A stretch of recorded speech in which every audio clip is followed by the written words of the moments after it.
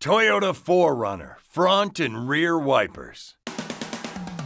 Okay, let's talk about the 4Runner windshield wiper system. You want to control the weather, right? Well, this is such a cool, versatile wiper system, it makes rain jealous. To operate the wipers, locate the stalk on the right side of the steering wheel. Move the right hand stalk up for a single wipe, or move the stalk down one position to activate the intermittent setting. Then, rotate the inner control ring to increase or decrease the wiper frequency.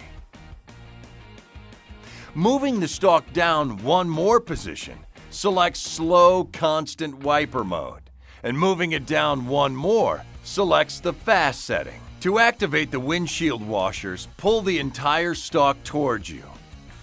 Select 4Runner models include a front de-icer. It is switched on and off using a button below the power mirror controls on the left side of the instrument panel. All 4Runners have a rear window wiper. Its controls are located at the end of the wiper stalk. Twist the knob on the end of the stalk one click to wipe and wash the rear window, or rotate it away from you to turn the wiper on an intermittent mode. Move to the next position for steady operation, and once more to activate the window washer. Trust me, whatever the weather, I got you covered.